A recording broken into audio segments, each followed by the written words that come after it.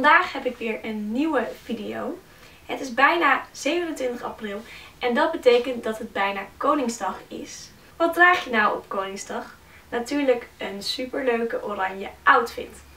Vandaag in de Doe It Yourself laat ik dus zien hoe je een leuk oranje t-shirt omtovert tot een nog leuker Koningsdag t-shirt.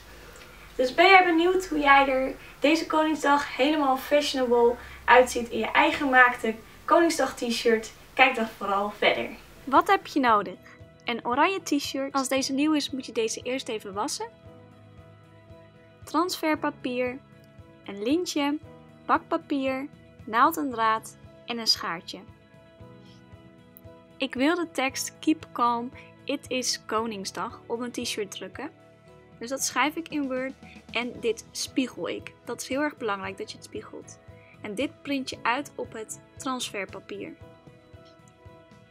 Vervolgens ga je deze lettertjes uitknippen. Je kan ervoor kiezen om gewoon de woorden uit te knippen, maar het geeft een mooier effect als je de lettertjes afzonderlijk uitknipt. En als je dan alle letters hebt uitgeknipt, dan ga je ze op je t-shirt leggen waar jij wil. Ik doe ze een beetje aan de onderkant. Dan uh, plaatsen we daar het bakpapier overheen. En vervolgens ga je dit met een strijkijzer erop strijken. Dit laat ik even mijn moeder doen, want ik ben zelf niet zo'n ster in strijken.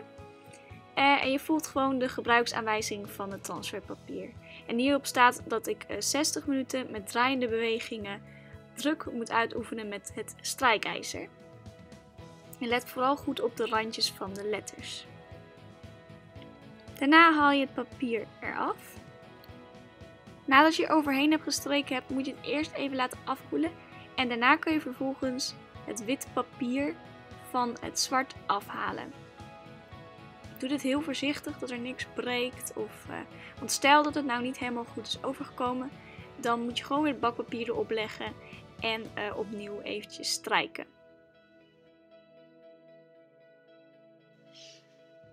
Nu moet je nog eventjes de letters gaan fixeren. Dus opnieuw leggen we de bakpapier eroverheen. En hier gaan we met de strijkijzer ongeveer 10 seconden overheen. En nu moet je niet te veel druk uitoefenen op het strijkijzer. Daarna haal je heel voorzichtig het bakpapier van de letters af. En als het goed is, staat dan je tekst op het t-shirt. Als laatste detail wil ik graag een klein strikje bovenaan het t-shirt met rood-wit-blauw. Dus maak een strikje van het rood-wit-blauw lint.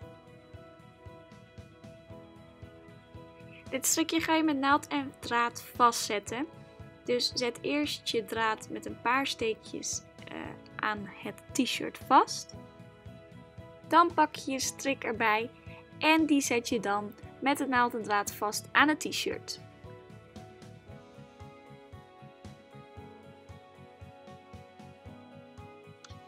Aan de achterkant zet je nog een paar steekjes zodat de draad niet los kan. Dan knip je de draad af. En dan is vervolgens je t-shirt helemaal klaar. Zo, en nu ben je helemaal klaar voor Koningsdag. Ga je de t-shirt nou ook maken? Laat het dan vooral weten in de reacties.